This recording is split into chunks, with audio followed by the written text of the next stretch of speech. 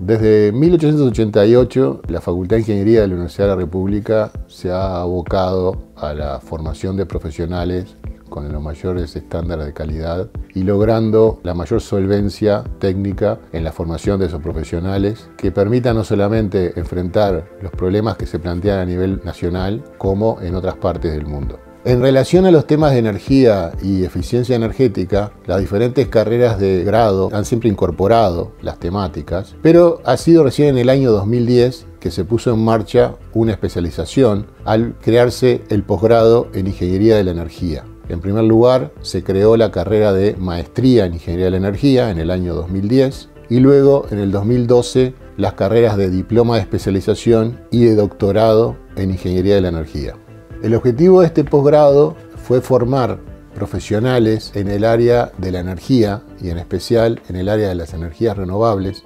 atendiendo a las demandas crecientes que ha impuesto nuestra sociedad debido en parte a las políticas energéticas que el gobierno puso en marcha y que dieron lugar al cambio de matriz energética. La formación que se da en este posgrado es una formación amplia y una muestra de ello los institutos que participan en la coordinación de este posgrado, entre los cuales se cita el Instituto de Ingeniería Eléctrica, el Instituto de Ingeniería Química,